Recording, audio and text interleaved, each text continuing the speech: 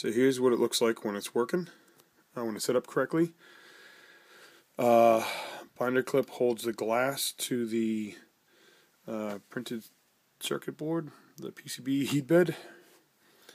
I have uh, M3 washer, nut nut washer. Another washer should be. Is it in there or did that fall out? No, there's supposed to be another washer there. Uh, maybe those fell off when I did it last. Alright, well, there should be a washer there when I, I have to put it back together, anyways. So, washer, uh, nut nut washer, then the board. I made these PTFE uh, washers. The bottom one, it's like 5.6 millimeters, I think. Basically, made it. No, I made it. I rounded it to uh, 220 thousandths of an inch, and this one was 100 thousandths of an inch, if I remember right, thickness. Is that right? Yeah, whatever.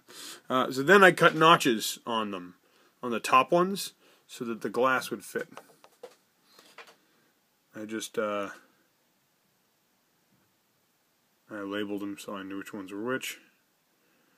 Front left, front right. Cut off these little pieces just with a um, a box cutter. So I still have to take the bed up again because I didn't put the thermistor underneath, uh, but I wanted to seat the glass, make sure it fit, and that I'd cut these well before doing anything else. So there you go. On to the next step.